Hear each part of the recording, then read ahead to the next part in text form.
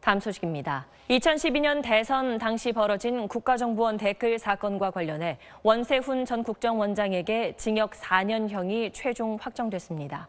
재판에 넘겨진 지 5년 만에야 사법부가 국정원 댓글 사건은 선거법 위반이라고 최종 결론을 내렸습니다.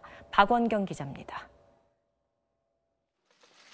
대법원 전원 합의체는 국가정보원 댓글 사건과 관련해 원세훈 전 원장에 대해 국정원법 위반은 물론 선거법 위반도 최종 인정했습니다. 공무원으로서 정치적 중립을 지켜야 할 국정원 직원들이 대선에서 특정 후보나 정당을 조직적으로 지지하거나 반대한 것은 불법 선거운동에 해당한다는 겁니다.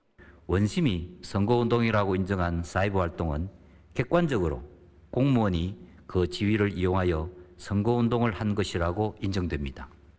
다만 대법관 13명 가운데 김창석, 조희대 대법관 2명은 객관적 증거로 원전 원장의 공모 관계가 증명되지 않는다며 반대 의견을 냈습니다.